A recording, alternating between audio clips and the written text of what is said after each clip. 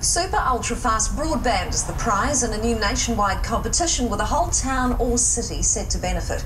The winning Gigatown would become the first in the southern hemisphere to enjoy internet speeds up to 100 times faster than most people have now. Well, we've been having a bit of fun with Gigatown. Everyone's hashtagging it. I'm the odd one out, still hasn't registered. I'm on it a couple of times a day, and it's just a matter of going like that, got it. Twitter, love Twitter. Took a while to learn about that, but I'm a big fan now. Twitter and Facebook. Um, yeah, there's about four or five altogether, isn't there? I think what it has done, though, is it from a, a, community point of view, and certainly in the business sector, it's opened people's eyes to some of the opportunities that are out there. This is definitely connecting people beyond just the scope of this competition.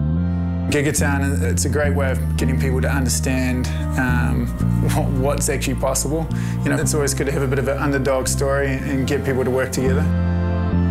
Uh, we work between Europe and here a lot. We have about 400 stores globally, and then we also work to Asia with manufacturing. And literally all of that is through uh, through the internet.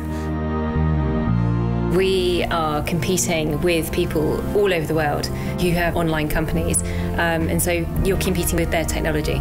Everyone will have the same access, and what that will do is hopefully remove some of the challenges and barriers that we have to learning and really excel our young people. They need fast internet access. It's so important, it's not funny. Spend some time thinking about that.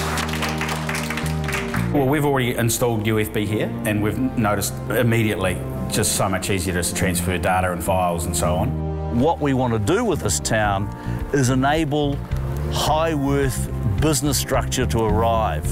Chorus have done a fantastic job because no one actually even knew who they were.